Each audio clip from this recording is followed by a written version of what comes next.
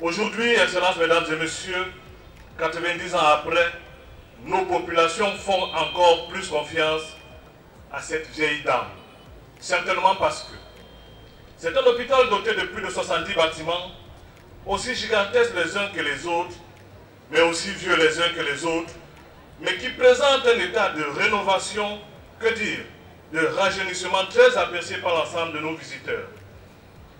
À peine le patient franchit-il l'enceinte de notre formation sanitaire que la seule vue extérieure de cet hôpital le rassure.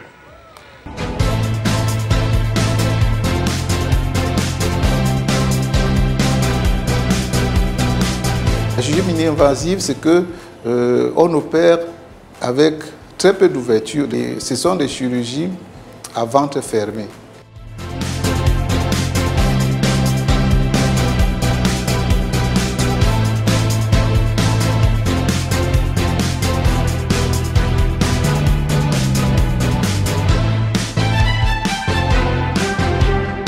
Ce matin, nous pouvons dire que euh, au niveau du littoral, la situation est quand même sous contrôle.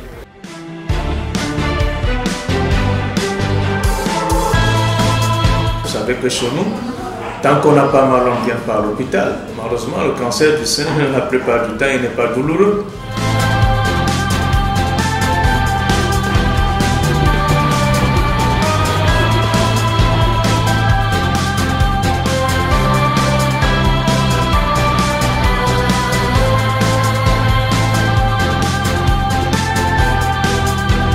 Ce que j'ai vu aujourd'hui m'a beaucoup impressionné. Les, docteurs, les médecins, les infirmiers, tout ce qui travaille ici.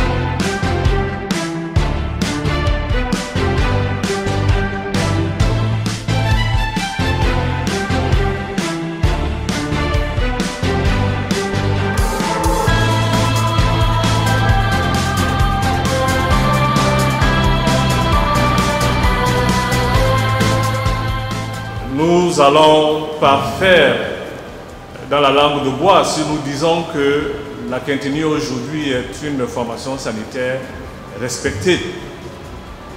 Ce ne serait un secret pour personne si je vous disais même que la Quintinie est sollicitée pour accompagner d'autres formations sanitaires aujourd'hui et des formations sanitaires parfois des plus délicates. Suivez mon regard. Pour cela, mesdames et messieurs, applaudissons encore pour l'hôpital.